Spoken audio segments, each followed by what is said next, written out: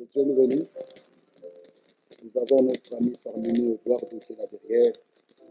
C'est eux qui nous ont vendu tout ce matériel que vous voyez. Il est là pour nous aider à régler tout ceci. Mais jusque-là, nous pouvons tous voir que les choses commencent à se stabiliser. Lisons une écriture, je ne serai pas long. Il nous reste quelques minutes. Comme je l'ai dit, le frère Bola sera ici le mardi. Il va nous apporter la parole.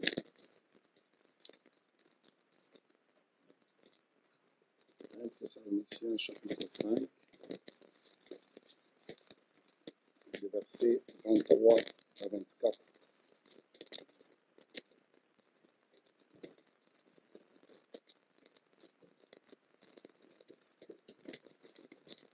Seigneur bénisse nos administrateurs.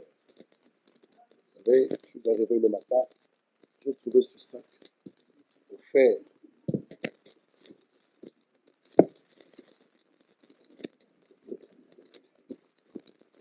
C'est bien. J'ai fait arranger mon sac, le, le, poignet était cassé, abîmé.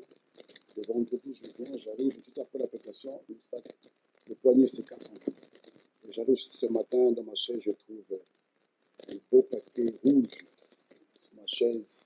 Ils l'ont déposé là. Vous voyez? C'est bien. Dieu les bénisse richement. Ah, Dieu est bon. hein. Il a dit, je vous donnerai des frères et des sœurs. Nous pouvons remercier notre Dieu. Le verset 23. Que le Dieu de paix vous sanctifie lui-même tout entier et que tout votre être, l'esprit, l'âme et le corps soient conservés irréprochables lors de l'avènement de notre Seigneur Jésus-Christ. Celui qui vous a appelé est fidèle et celui qui le fera. Alléluia. Nous avons parlé, nous parlons ce jour-ci sur un thème très capital et qui fait partie du plein évangile, la sanctification. La Bible nous dit dans Hébreu, sans laquelle personne ne verra le Seigneur. Et ici, notre Dieu se présente lui-même comme étant le Dieu de paix.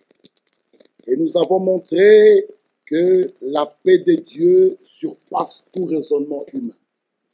La paix de Dieu. Et nous avons montré que ceux qui sont de Dieu sont des enfants de paix. Et parmi les enfants de Dieu, y avoir la paix? Nous ne voulons plus des désordres, des tiraillements. Non, non, non, non. Nous voulons la paix. Et nous avons montré que dans l'assemblée de Dieu, Dieu est un Dieu de paix. Ma soeur, pourquoi elle est- elle est debout Ok. Nous avons montré que dans l'assemblée de Dieu, Dieu est un Dieu de paix. Il n'est pas un Dieu de désordre. Et parmi son peuple, c'est la paix aussi qui doit régner. Je vais vous lire quelque chose que j'ai trouvé. Nous pouvons dire à nos invités que nous ne sommes pas des branamistes, non, ni des franquistes. Même si nous lisons quelques citations, nous pouvons parler de frère Franck, nous pouvons dire à nos invités, nous vous aimons, mais nous ne sommes pas ni branamistes, ni franquistes. Mais comme on l'a entendu, Dieu, dans chaque âge, s'adresse à son prophète. Il confie un message pour cet âge. Et dans cet âge, Dieu a parlé à Frère Branham. Et Frère Branham qui rentre à la maison, nous voyons cette continuité à travers le ministère de Frère Franck, en train de distribuer le même message. Frère Franck n'a pas son propre message, c'est le même message qui lui a été confié. Il a distribué le monde, dans le monde entier. On l'a entendu plus ou moins 170 pays. Ah, nous pouvons voir l'écriture d'Apocalypse 14, 6 être accomplie sous nos yeux et dans notre temps, dans notre âge. L'évangile a atteint le monde entier. Matthieu 24, 14 le dit, alors viendra la fin. Nous sommes réellement à la fin. C'est pourquoi nous pouvons lire les témoignages des hommes de Dieu, nous pouvons lire, ne soyez pas choqués. Et nous sommes vraiment au bon endroit. Et Dieu nous a révélé, nous a ouvert les yeux de prendre part à ce qu'il est en train de faire. Écoutez, écoutons ce que frère Franck nous dit ici dans la circulaire 32 de janvier 86. Quelque chose de merveilleux. Il prend l'écriture de 1 Corinthiens 14, verset 33. L'apôtre Paul s'écrit. Quand même le sang, je sens, il est Vous savez, hein, si chacun de nous reconnaissait sa place et gardait sa place, les infirmiers, les infirmiers, les médecins, les médecins, les maçons, les maçons, prédicateurs et prédicateurs, le peintre, et peintre, tout va aller bien. Et le dommage, c'est que si le maçon peut donner une piqûre, ça va être grave, mon frère, c'est ça. Vous voyez, nous, nous sommes en tant que que Dieu vous bénisse, parce que même tous ces matériels, c'est vous. que Dieu vous bénisse richement. Vous savez une chose. Quand le, plan de Dieu, que son peuple soit uni, soit un. Et c'est ce qui fait la force. Ce n'est pas la quantité, non, c'est l'unité de l'esprit. Donc nous sommes un, même si on a, nous sommes à trois, et nous avons en face de nous 10 000 personnes, mais nous sommes unis avec Dieu, nous sommes plus forts. Alléluia. C'est important et très, très, très capital. Que Dieu nous aide, que Dieu nous révèle ces choses, et vous verrez réellement, nous serons vraiment, vraiment bénis. Ce sont des choses euh, que Dieu doit nous les révéler. Et ici, l'homme de Dieu nous dit ceci. 1 Corinthiens 14, 33. Paul s'écrit au milieu de l'enseignement qu'il donne à ce sujet. Car Dieu n'est pas un Dieu de désordre, mais de paix. Comme dans toutes les assemblées des saints. Si nous sommes réellement l'assemblée des saints, Dieu n'est pas un Dieu de désordre, mais un Dieu d'ordre. Vous savez, ce que vous êtes, ton frère a une part dedans. Est-ce que vous le croyez? Pourquoi je le dis? Quand vous donnez vos requêtes, je demande à l'Assemblée des saints de Bruxelles de prier pour moi. Tu amènes la requête ici. Tu ne dis pas, je demande à mes oncles, à mes tantes, l'Assemblée des saints de Bruxelles. La requête est lue ici, de la chair. Et nous disons à l'Assemblée, prions pour telle personne. Là où tu es, tu ne sais pas qui a prié, qui n'a pas prié. Alléluia. Donc, ceux qui ont prié et que Dieu t'a béni ont une part. C'est comme ça. Parce qu'il fallait rester avec ta requête chez toi. Il fallait l'amener chez tes oncles. Mais tu viens avec une requête ici. Priez pour moi. Nous prions. Dieu te bénit et tu commences à dédaigner les autres. Non, j'ai ma part. si nous avons ce regard, nous serons unis et nous allons beaucoup nous aimer. Ce que tu es là, j'ai ma part. Oui, si Dieu t'a béni, j'ai ma part aussi. Je priais pour toi. Alléluia. Ah, écoute-toi. Il nous dit ceci. Chacun pourrait bien être éclairé en considérant la démonstration de ce que nous venons de lire. Pas un Dieu de désordre, mais au contraire un Dieu d'ordre. Ainsi, notre compréhension humaine correspondrait à cette parole. Combien profonde est la sagesse de Dieu Écoutez, là où les hommes, dans leurs pensées, leurs paroles, leurs actions ne se soumettent pas à l'ordre de Dieu, il en résulte un chaos. Et à cette situation est toujours liée la discorde. En plus, la haine, l'hostilité surviennent pour se propager comme un cancer. Lorsque règne une telle confusion, Chacun tient son propre langage et l'on ne se comprend plus les uns les autres. Chacun avance ses propres pensées et ne comprend plus ce qu'il veut bien comprendre, mais parce que l'autre a dit et voulu exprimer. Personne ne demande ce que le Seigneur aurait répondu, comment il aurait parlé et agi. Vous voyez, quand il y a un problème, nous devons par contre nous poser la question, dans cette situation, comment est-ce que le Seigneur, lui, aurait répondu? Comment est-ce qu'il aurait parlé? Comment est-ce que le Seigneur aurait agi? Des personnes qui auraient... Écoutez, ça c'est important. Je vais relire tout doucement.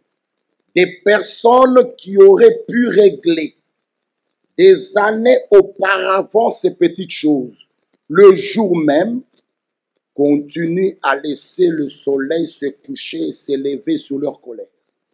Ah. Je vais relire. Nous sommes ici pour le départ.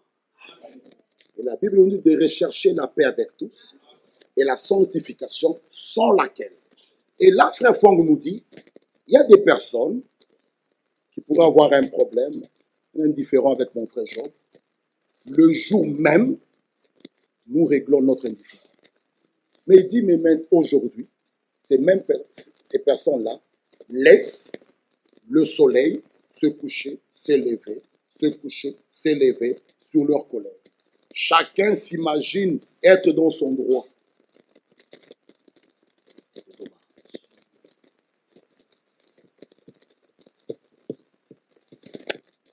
Un agneau est prêt à perdre ses droits. Un enfant de Dieu n'est pas conflictuel. Non. Non. Cela peut arriver, mais il règle immédiatement ces choses. Pourquoi? J'ai parlé avec le bien-aimé Rigen Kalala qui prêche à Kalemi. Il a prêché vendredi, je l'ai suivi, sur une église séduite. L'interprète qui a interprété le frère, en très bonne santé, après le culte, il s'est salué, il va chez lui, il dort, le samedi matin, il s'est réveillé. Vous voyez, frères, frères et sœurs, notre orgueil doit un peu disparaître. Le lendemain ne nous appartient pas. Aujourd'hui, si vous entendez sa voix, mettez vos vies en ordre. Un véritable enfant de Dieu ne ramène pas demain ce qu'il peut faire aujourd'hui. S'il faut se répandre, il se répand. S'il doit se faire baptiser, il prend le baptême. S'il doit mettre sa vie en ordre, il met sa vie en ordre. Mais nous, nous avons même des audaces, même des prédicateurs. Frère, laissez-moi un peu encore le temps. Mais c'est grave. Demain ne t'appartient pas. Nous, c'est aujourd'hui. Si la parole sort, elle touche mon cœur, là même, je mets ma vie en ordre. Parce qu'il revient bientôt, où la mort peut frapper. Si toi et moi, nous sommes en vie, en quoi est-ce que nous dépensons cet interprète? C'est uniquement la grâce de Dieu. Alors louons notre Dieu. S'il nous fait grâce encore ce matin d'être en vie, disons-lui Seigneur merci. Je consacre mon corps, ma vie, mon être entier. Fais de moi ce que toi tu veux. Non pas ce que je veux, mais ce que tu veux. Que notre volonté disparaisse. Nous devons lui appartenir tout entier. Corps, esprit, âme. Notre propre volonté. Allez réécouter la prédication du 3 juillet 2016. L'homme de Dieu nous dit là-dedans que notre propre volonté est en fait est, une idolâtrie. Les idolâtres, les gens pensent c'est seulement les gens qui adorent des statuettes, mais il y a plein d'idolâtres dans des églises. Tout celui qui a accompli sa propre volonté, c'est un idolâtre. C'est très grave. L'idolâtrie. Les gens voient des grands tollés, l'adultère, oh les vols, mais plein des idolâtres dans les églises en train d'accomplir leur propre volonté. Mais celui qui est enfant de Dieu soumet sa volonté à la volonté de Dieu. Et il répète, oh, que ta volonté soit faite sur la terre comme au ciel. Non pas ce que je veux, mais ce que tu veux. Fais de moi ce que tu veux, Seigneur. Frère bien-aimé, nos propres volontés doivent disparaître. Alors Dieu peut régner. Ésaïe 55, vos pensées ne sont pas mes pensées, vos voix ne sont pas mes voix. Frère, les voix du Seigneur doivent être au-dessus de nos voix. Alléluia. Alors il peut agir. Dieu est un Dieu d'ordre, un Dieu de paix. Alors, nos maisons des maisons de paix. Amen. Frère, pour aller dans l'enlèvement, la Bible est claire. Recherchez. Chacun doit faire cela. Amen. Ah, c'est ça la voie pour monter. Amen. Ne vous y trompez pas. Amen. Et l'homme nouveau procure Amen. cette paix. Amen. Ah, pour la procurer, il est d'abord en paix avec Dieu. Amen. Alléluia. Amen. Il procure la paix et recherche. Amen. Ça, c'est le chemin de ceux qui veulent aller au ciel. Amen. Recherchez la paix. Sinon, vous verrez la colère de Dieu. Frère, enlevons notre... Il nous dit ici, il nous dit ici, chacun s'imagine être dans son droit. Et aucun ne se laisse plus reprendre et touché par la parole de Dieu. Par contre, chacun sait tout de suite ce que l'autre devait faire et abandonner. Ah, ah, ah. Donc, vous voyez comme nous sommes assis. Donc, chacun sait ce que tel doit faire et abandonner. Et toi, qu'est-ce que toi tu dois faire? Toi, tu ne sais pas. Tu sais ce que l'autre doit faire. Et toi, la parole n'est pas un rétroviseur. Non. La parole, c'est un miroir. Amen. Que moi-même, je me vois. J'arrange ma cravate. Amen. Mais je laisse la mienne aller au pli comme ça. Je peux arranger celle de frère Job. Non, non. Arrange d'abord toi-même ta cravate. La parole est un miroir. Amen. Que chacun s'examine. Qu'il fasse son inventaire. Là où ça ne va pas. Mais régler la chose. Amen. Amen. Jésus-Christ revient bientôt. Amen. Réveillons-nous, mes bien-aimés frères. Amen. Bientôt, bientôt, nous partirons. Amen. Mais ne peut partir. Lisons Matthieu. Matthieu chapitre 5. Bien-aimés frères, ceux qui sont de Dieu aiment tout le monde. Amen. Vous le croyez, n'est-ce pas? Ah, ah, ah, Matthieu, Matthieu 5. Matthieu 5. Matthieu 5, verset 3. Heureux les pauvres en esprit, Amen. car le royaume des cieux est à eux.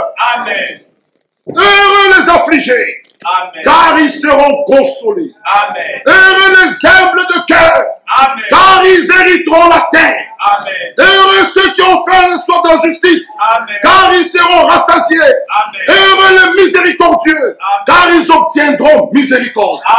Heureux ceux qui ont le cœur pur, Amen. car ils verront Dieu. Heureux ceux qui procurent la paix, car ils sont appelés fils de Dieu. Amen. Alléluia. Amen. Qui peut procurer la paix de Dieu Seulement celui qui a la paix avec Dieu. Amen. Amen. Hey, L'évangile doit être une réalité en nous. Amen. L'évangile doit être une vie en nous. Amen. Alléluia. Amen. Écoutez, c'est très bien. Mais la foi marche avec l'obéissance. Amen. Amen. C'est ça la véritable foi. Amen. Qui peut procurer la paix Seulement celui qui a la paix avec Dieu. Amen. Mais bien aimés frères et sœurs, la sanctification. Que veut dire ce terme sanctification? Rélisons. Je vais. Je ne serai pas là. Que veut dire ce terme sanctification? La- Le terme sanctification implique la pensée d'une mise à part, Amen. D'une consécration à Amen. Dieu. Amen.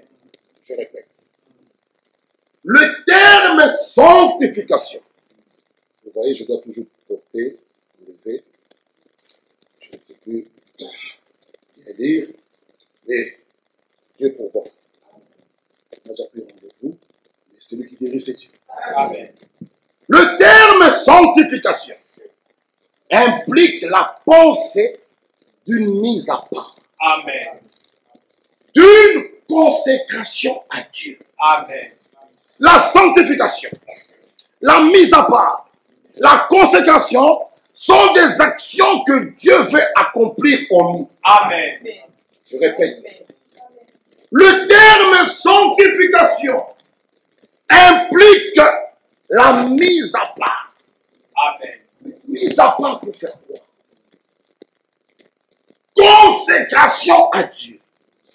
C'est pourquoi que Dieu aide notre frère de conduire cette prédication sur l'harmonie divine.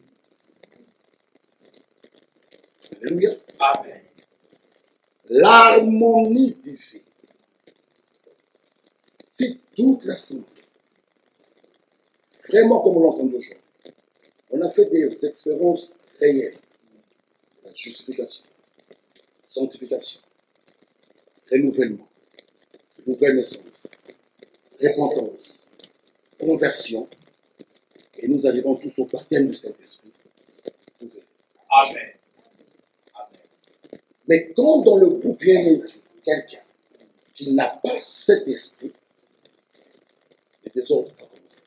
Parce que nous devons tous être conduits par le même esprit. Amen. Que tu sois chanteur, sois prédicateur, que tu sois ancien, que tu sois diacre, que tu sois aux instruments, que tu sois, que tu sois, tous on doit être conduits par le même esprit. Amen. Amen. Alors même si on fait une reproche là, ça ne va pas te faire sauter. Étant conduit sur le même esprit, cette reproche-là, c'est pour le bien de tout le monde. Amen. Et tu prendras bien la reproche. Amen. Tout est pur pour celui qui est pur. Amen. Mais quand on n'est pas pur de cœur, tout ce qu'on dit, mais qu'est-ce qui, qu'est-ce qui, qu'est-ce qui. Non! Dans la maison de Dieu, nous devons tous être baignés dans le même esprit. Dans le Saint-Esprit, frères et sœurs, nous sommes tous baignés là-dedans. Vous verrez. Amen. Vous verrez, déjà le premier cantique, déjà le conducteur, quand il monte, oh, même sur le de dire le, il dit là.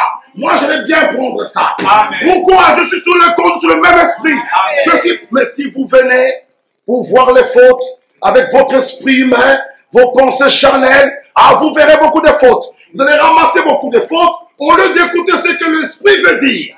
Bien-aimés frères et sœurs, c'est important que nous arrivons tous Amen.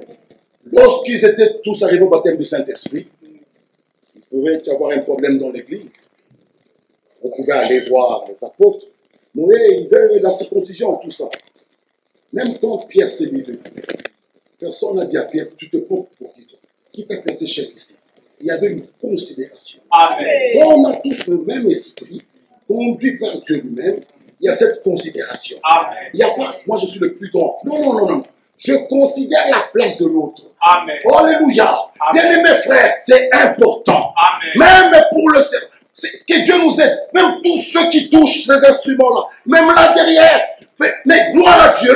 Déjà à la fin du mois, nous aurons une veillée ici. Et j'ai la foi que Dieu agira. Amen. Que tout le monde soit baigné dans le même esprit. Amen. Vous verrez même ceux qui touchent la batterie, même ceux qui touchent les instruments. Dieu nous bénira. Amen. Nous voulons voir la main de Dieu parmi nous. Amen. Amen. Nous ne méprisons personne. Que tu sois petit ou grand, ta place est là. Amen. Nous sommes là pour servir le Seigneur. Amen. Et nous croyons, celui qui a commencé cette bonne œuvre va l'achever. Amen. Alléluia. Dieu n'est pas notre adversaire. Non. Même s'il nous châtie quand nous dévions, Dieu n'est pas notre adversaire. Amen. Dieu est notre ami. Amen. Parce que même le châtiment qu'il nous donne, c'est pour notre bien. Amen. Alléluia. Amen. Lisons, lisons. Je dis, on disait que le terme sanctification implique la pensée d'une mise à part et d'une consécration à Dieu. Amen. Et la sanctification, la mise à part, la consécration à Dieu sont des actions que Dieu veut, Amen. veut accomplir en nous. Amen. Et une sanctification valable devant Dieu n'est possible que dans la parole de vérité. Amen. Voilà pourquoi Jean 17 est clair. Sanctifie-les par ta vérité. Amen. Ta parole est la vérité. Amen. Frère, nous devons écouter que la parole de vérité. Amen. Nous n'avons pas besoin des commentaires d'un homme, Non. ni de ce que l'homme pense. Non. Moi, je pense que ici, ce n'est pas la place de dire moi, je pense que. Ici, c'est dire ce que Dieu a dit. Amen. C'est ce qui amène la vie. Amen. Amen. Amen. Il nous faut cette parole de vérité. Amen. C'est elle qui nous sanctifie. Amen. Les fausses doctrines, les faux enseignements ne nous sanctifient pas. Sanctifie-les par ta vérité. Amen. Ta parole est la vérité. Amen. Vous voyez, bien aimés frères et sœurs, nous avons besoin de la parole de vérité. C'est pourquoi dans ce temps du soir, Dieu nous a envoyé sa parole. Amen. Jésus, c'est un prophète majeur. Amen. Abraham était un prophète promis, Amen. comme Jean-Baptiste le fut, comme Moïse a été Amen. prophète promis Amen. pour l'âge de l'Odyssée. Amen. Le 11 juin, cet homme en train de baptiser la 17e personne, une voix s'est fait entendre d'en haut. Amen. C'était pas un homme qui a parlé. La voix s'est fait entendre d'en haut. Amen. Quand le 120 était dans la chambre haute, un bruit venant d'en haut. Amen. Même pour le Saint-Esprit, c'était une action surnaturelle. Même si on te baptise par un grand prédicateur, cela ne sert à rien. Le Saint-Esprit, c'est une action surnaturelle. Amen. Un bruit survenant d'en haut. Amen. Les capacités d'un homme s'effacent. Et l'Église s'efface. C'est pourquoi que Dieu nous aide. Amen. Pourquoi? À entendre les véritables envoyés de Dieu. Amen. 1 Jean 4 est clair. Vous, vous êtes de Dieu. Amen. Nous, nous sommes de Dieu. Amen. Celui qui nous écoute, écoute Dieu. Amen. Un envoyé de Dieu dit les paroles de Dieu. Amen. Alléluia. Amen. Il y a des hommes qui parlent de Dieu et des hommes par qui Dieu parle. Amen. Nous voulons ce canal par qui Dieu parle. Amen. Et nous transmettons que la parole de Dieu et nous mettrons en contact avec Dieu. Amen. Mais des hommes qui parlent d'eux-mêmes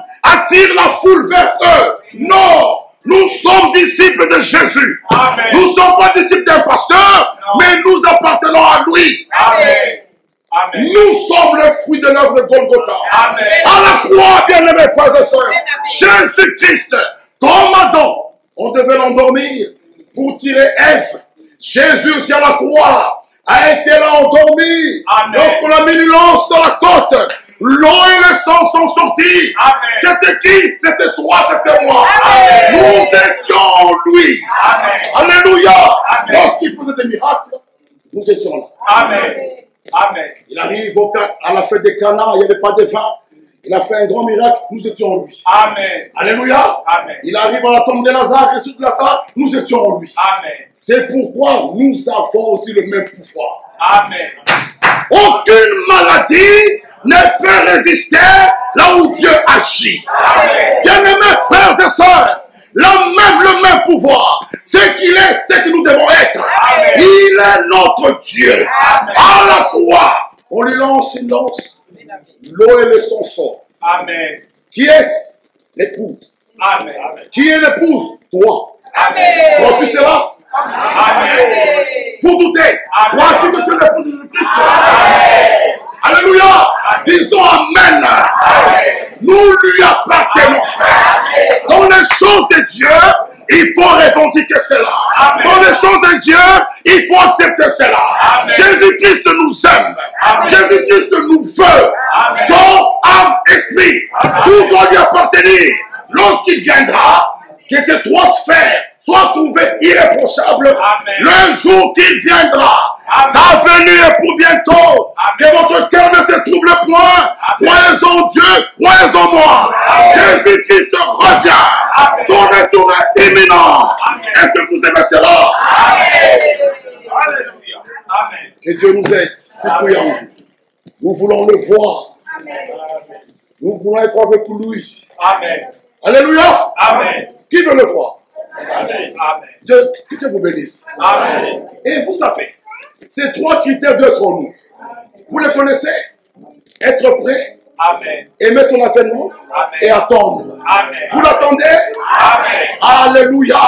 Alors si vous l'attendez, écoutez ce que dit la parole. Recherchez la paix avec tous Amen. et la sanctification Amen. sans laquelle personne ne verra le Seigneur. Amen. Que Dieu vous bénisse. Amen.